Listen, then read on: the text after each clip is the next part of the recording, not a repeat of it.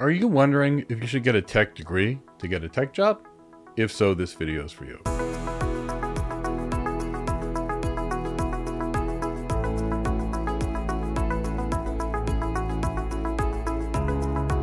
Hi, my name's Mike Gibbs. I'm an enterprise architect with a little over 25 years experience. And in today's video, we're going to talk about are tech degrees worth it, especially if you want a tech job.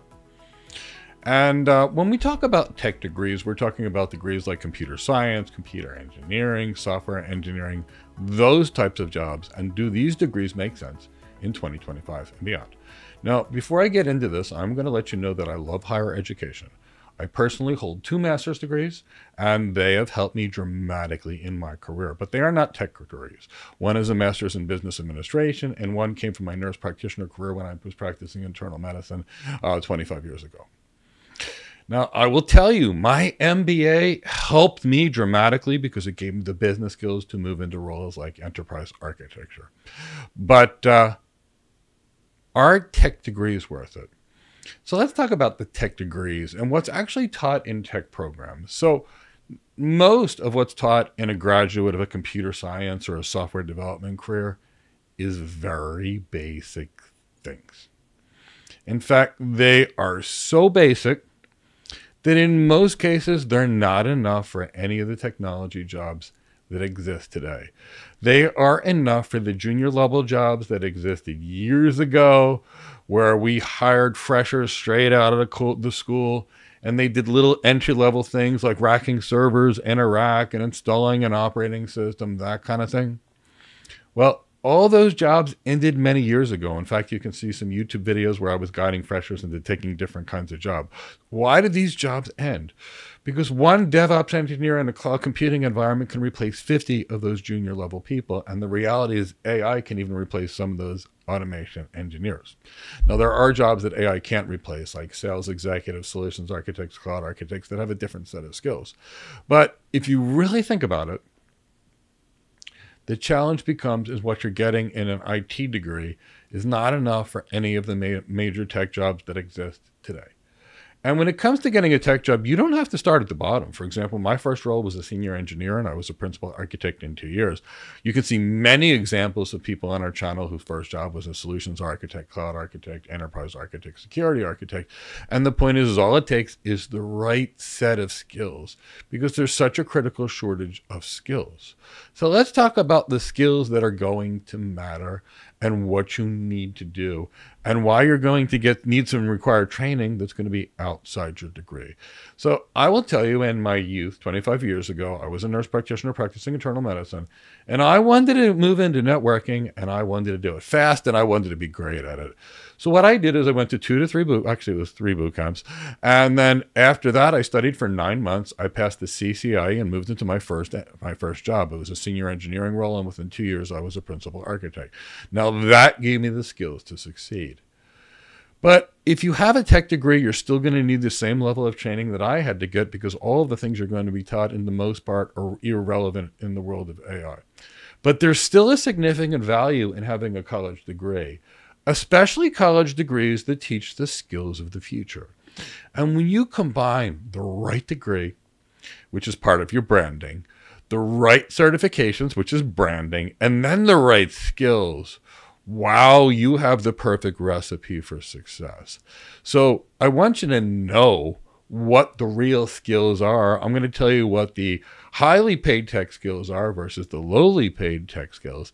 And then after that, I'm going to tell you the tech skills of the future and why you're probably better off with a business degree than a tech degree in your technology career. So, the highest paying tech jobs out there are not related to your hands on skills. They're related to your strategy and your ability to solve real world problems. I'm going to say it again. Your hands on skills are the lowest paid skills you have. That's typically why a gardener who's using their hands typically earns far less than a physician that's mostly using their mind, unless they're a surgeon where they're using their minds and their hands. Now, the same thing applies in tech.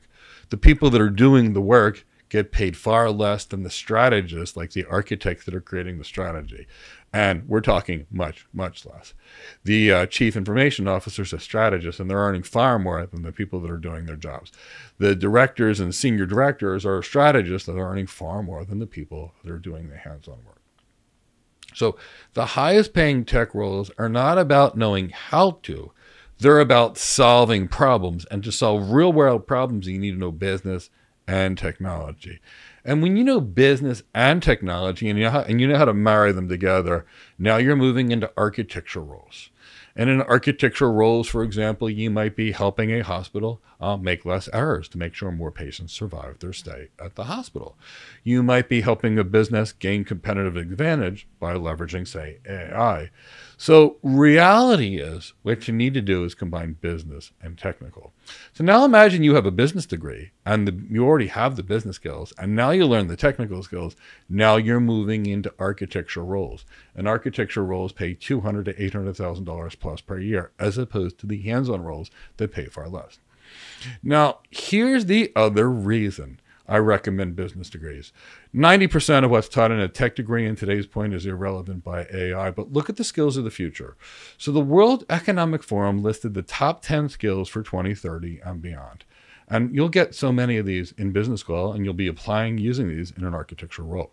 Analytical thinking, the ability to uh, evaluate information logically and make data driven decisions. Well, you get a degree in business and you're going to be doing that all day long. So, with lots of practice with the real world skills of the future. Creative thinking, one of the 10 skills of the future. In business school, I promise you, they will give you case studies with various business problems, and you will have to get creative to solve those problems. So it'll teach you that creative problem solving. Now, the next set of skills for the future is resilience, flexibility, and agility. A business degree will help you with that. And here's the reason it will teach you how to learn and it will teach you how to find quality information. And you will know what kind of places to get what kind of information, how to source that information, and how to present that information intelligently. And that's the skills of career agility, where you're in one job and you can do another one fairly quickly. Now, motivation and self awareness, truthfully, you get this from any degree getting a degree is just no fun. It's a grueling process, so it proves some degree of motiv- motivation. Now, curiosity and lifelong learning, any degree honestly would help you here because it'll teach you how to learn and how to learn from the right information. So, any degree would help you, including the computer degrees, but so would a business degree.